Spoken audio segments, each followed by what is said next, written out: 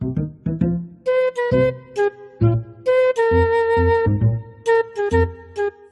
not in all recipes.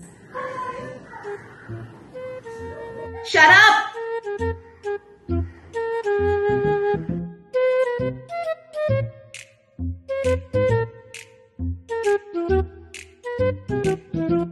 Hi.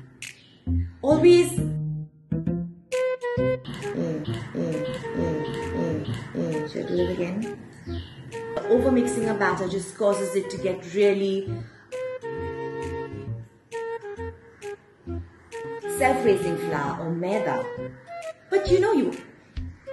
Next one is flour. Things like wheat flour, ragi flour, you know, um.